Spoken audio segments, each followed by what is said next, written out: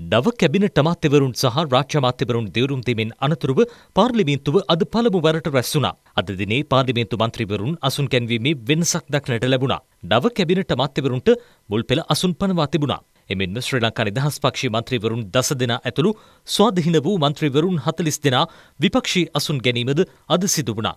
හිටපු ජනාධිපති පාර්ලිමේන්තු මන්ත්‍රී මෛත්‍රීපාල සිරිසේන මහතාටද විපක්ෂී මුල් පෙළ අසුනක් ලබා දී තිබුණා.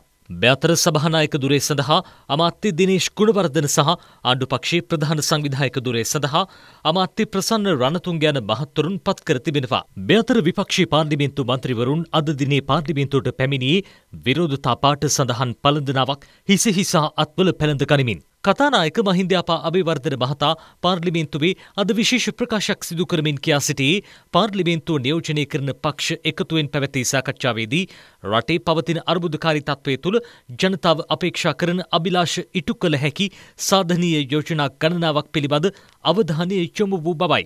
අමාත්‍යවරුන් සහ පාර්ලිමේන්තු මන්ත්‍රීවරුන් විගණකාධිපතිවරයාගේ අධීක්ෂණයට යටත් කිරීම සඳහා ඊට අදාළ නීති සංශෝධනය කිරීම දේශපාලන පක්ෂ විගණනය කිරීමට හැකිවන පරිදි අදාළ සංශෝධන සිදු කිරීම රාජ්‍ය කොන්ත්‍රාත් සඳහා ලන්සු කැදවීමකින් තොරව භාණ්ඩ හා සේවා ලබා ගැනීමේ තහනම් කිරීම සහ රජයේ කොන්ත්‍රාත් කටයුතු වලදී විනිවිදභාවය තහවුරු කිරීම සඳහා අවශ්‍ය සංශෝධන සිදු කිරීම දේශපාලනඥයන් සහ ඔවුන්ගේ ඥාතීන් හෝ රාජ්‍ය සේවකයන් විසින් අනීතිකව උපයන ලද විදේශ බැංකු හෝ මූල්‍ය ආයතනයන් තැන්පත් කර ඇති බවට හෙළිවන වත්කම් රජයට පවරාගත හැකි වන පරිදි අදාළ අනපනත් සංශෝධනය කිරීම දිත්ව පුරවැසියන් පාර්ලිමේන්තු මන්ත්‍රී දුරයට හෝ ජනාධිපති දුරයට තෝරාපත් කරගෙන ලැබීමට නුසුදුසු බවට අවශ්‍ය නීති සම්පාදනය කිරීම බ්‍යතර අග්‍රමාත්‍ය මහින්ද රාජපක්ෂ මහතාද පාර්ලිමේන්තුවේදී අද විශේෂ ප්‍රකාශයක් සිදු කළා. ආණ්ඩුවත් කවදාවත් කැමැත්තෙන් තමන්ගේ ජනතාව දුෂ්කරතාවයන්ට පත් කරන්නේ නැහැ. දේශපාලනික වශයෙන් බොරදිය මාළුවාන මේ අවස්ථාවක් නොවේ කියලයි මා විශ්වාස කරන්න. අපි හැම දෙනාම ගැන ජනතාව බලා සිටිනවා. කවුද අවංකව රට ආදරය කරන්න කියලයි ඔවුන් බලාගෙන ඉන්නේ. ඔය ඒක ජනතාව තීන්දු කරයි. ජාත්‍යන්තර මුල්‍ය අර මුදල ලෝක බැංකුව ඇතුළු විවිධ ජාත්‍යන්තර ආයතන සමග අපි දැනටමත් සාකච්ඡා ආරම්භ කර තිබෙනවා. ඔවුන්ගෙන් අපට ඒ සඳහා යහපත් ප්‍රතිචාර ලැබෙමින් තිබෙනවා. අර කාලු මෝදර විරෝධතාවයේ නිරත කණ්ඩායම් වලටත් මා සාකච්ඡාවකට එන්නේ ඇයි මීට පෙර ආරාධනා කළා. උන්ගේ වටිනා අදහස් අරගෙන කළ යුතු මැදිහත් වීම කරන්න අපි ඉදිරිපත් වුණු බව සීපත් කළ යුතුයි. දීර්ඝකාලීනව විදුලි කප්පාදුවලට එක් හේතුවක් වූයේ නිසිකල්ට විදුලි බලාගාර ඉදි නොවීමයි. දැන් ඒ වරද අතීතයට පවරා පලක් නැහැ. අපි ඒ වෙනුවෙන් ගත යුතු ක්‍රියාමාර්ග ගනිමින් සිටිනවා. පැය කිහිපයක් පෝලිම් වල ඉන්න ගියාම ඇතිවෙන වේදනාව දන්න නිසා අපි ඔබ තව බොහෝ කල් පෝලිම් වල නොතියන බව මතක තබා ගන්න. ආර්ථික අර්බුදයට විසඳුම් සොයන විට ඒ සඳහා අපේ රටේ ආර්ථික දේශපාලනිකා සමාජික ස්ථාවරත්වයන් ඉතා වැදගත්. ඒ සඳහා ගත හැකි කඩිනම් හා ප්‍රායෝගික විසඳුම් ලෙස ආණ්ඩුක්‍රම ව්‍යවස්ථා සංශෝධනයක් ඇති විය යුතුයයි මා විශ්වාස කරනවා.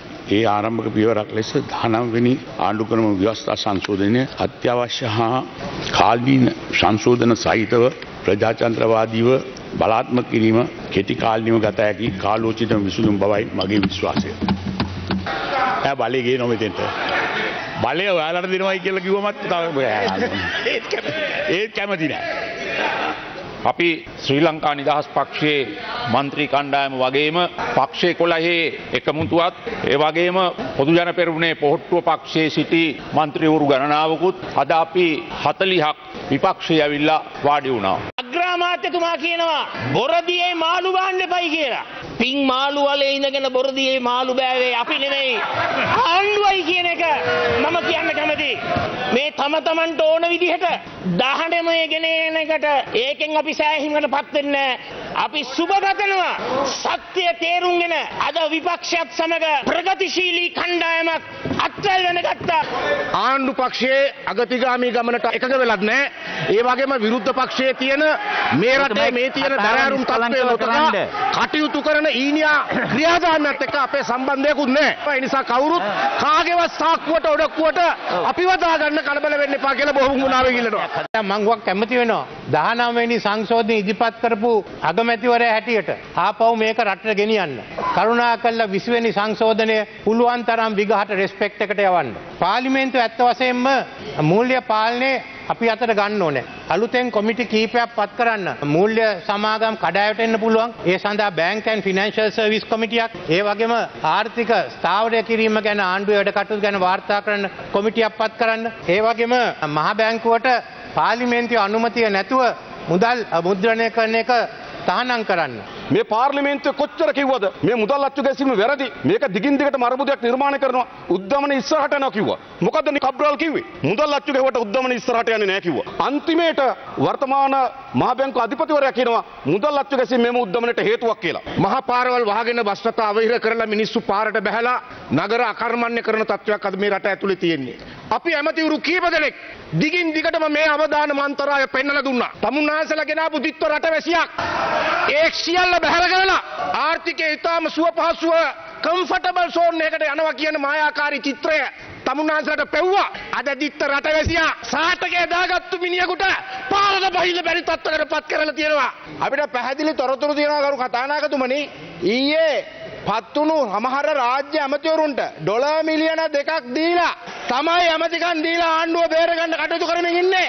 සාන්ත වන්නාර මහත්තයාගේ ගමේ තියෙන හන්දියේ ඒ හැමදාම මුණ ගැහෙන මිනිස්සු ටික ඒ අපකීර්තිමත් පාවා දීම වෙනුවෙන් එයාට ගිහිල්ලා ශබ්ද දැම්ම පාට දැම්ම. අද කවුද රට බාර ගන්න? සජිත් ප්‍රේමදාස බාර ගන්නවද? අනුර කුමාර දිසානායක බාර ගන්නවද?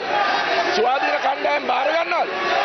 ඒ නිසා මතක තියාගන්න. ඔය ගොම්පාට්ටොල්ට අපි ගයවෙන්නේ නැහැ.